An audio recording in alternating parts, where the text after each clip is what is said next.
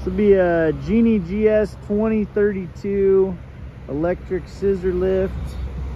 Uh, let's see here, hours, she's gonna be 518. Uh, yeah, not much to say about these. They're pretty simple.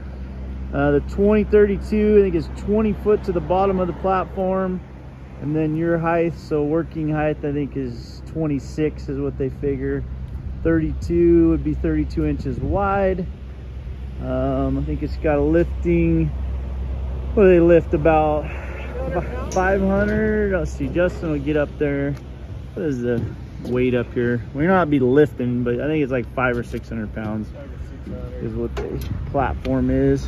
Does this have the slide out on this one? Looks like it does. Yep, slide out so you can work a little ways out. All right, run around there, fella. You're gonna go up first, okay. That's as high as you're going? Come on now. That's why I'm not doing it. Yeah, it looks a lot worse when you get up there.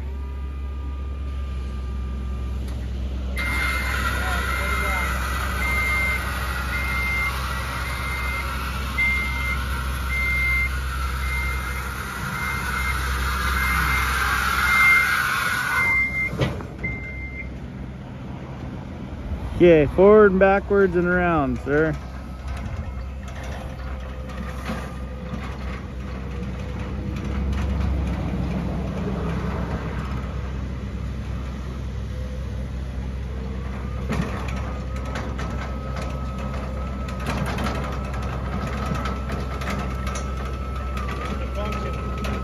Like it's doing its thing.